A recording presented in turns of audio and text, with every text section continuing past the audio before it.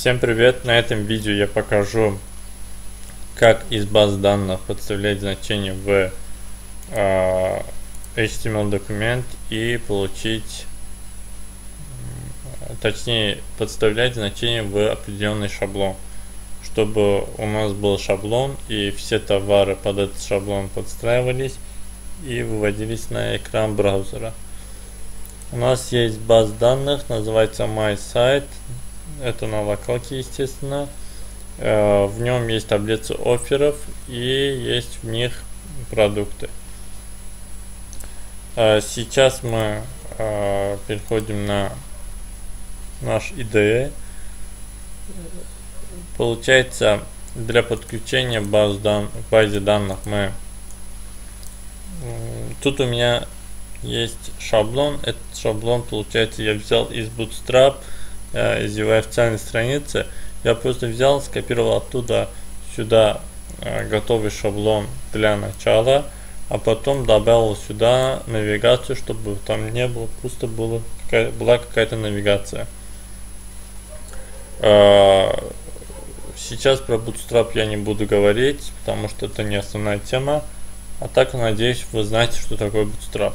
А если не знаете, и возможно это и не важно. Э, получается, что у меня э, будет шаблон, куда будут подставляться значения из баз данных. Э, забираем из баз данных с помощью запроса select ну, звездочка from offers, выводим, получаем отправляем запрос и получаем ассоциативный массив, то есть 0, 1, э, ну, короче, наши продукты. Давайте посмотрим, что у нас вводится. У нас вводится массив нулевой, в нем значение первого товара. Массив первый, в нем значение второго товара. И так далее. А, естественно, мы будем выводить не значение ID, а значение title, short description, image URL. А, я подготовил изначально шаблон, чтобы подставить. Вот такой вот шаблон. А, возьмем и подставим наш контейнер. Тут получается у нас шаблон из чего состоит. Есть вот шаблон тут. Есть изображение. Есть э, заголовок для товара. Есть короткое описание. И есть кнопка для перехода на страницу этого товара.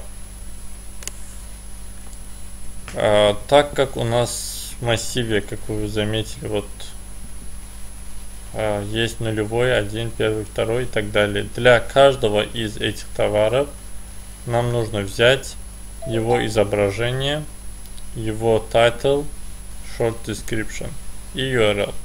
Поэтому пишем for each products для каждого продукта как отдельный продукт. Мы пишем продукт и его image. Короче, сюда подставляется значение. И получается вот так.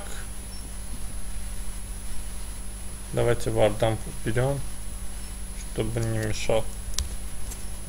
Получается вот так. А, товар, его изображение, его заголовок, его текст и кнопка для перехода на страницу этого товара. По сути она работает, но суть не в этом. Э, в чем суть? В том, что автоматически подставляется код HTML, то есть генерируется. Генерируется, вот мы можем увидеть так. У нас был один div, div card call lg4. Ну вот тут мы вводим, видим его. Где? Вот. Вот наш div по сути получается. И для каждого продукта появляется новый такой тип. Если бы у нас было там три продукта, появился бы третий тоже. Давайте добавим. Ставить. Ну давайте так просто сделаем. Тест. Image поставим такой URL.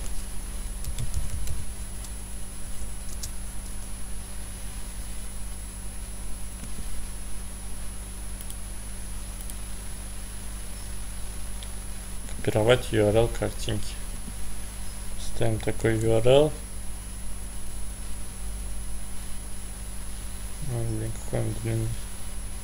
Между там ограничение действует не больше 150 символов. А, вот, черт. Все больше.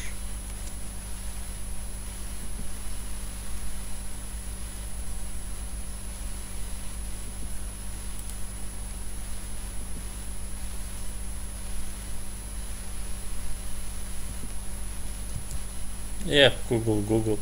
Ну, короче, возьмем другое там изображение из предыдущего. Возьмем так. Что тут?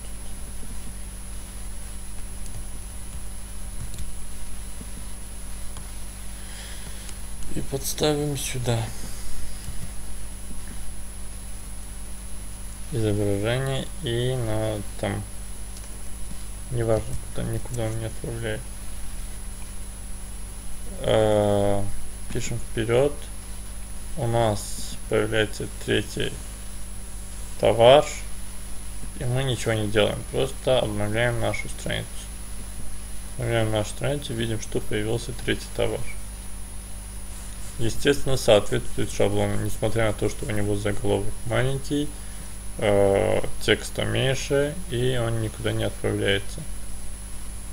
Ну все надеюсь все понятно. Что не будет понятно можете написать э, в комментарий.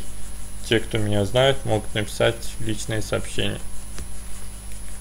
Всем пока. Спасибо за просмотр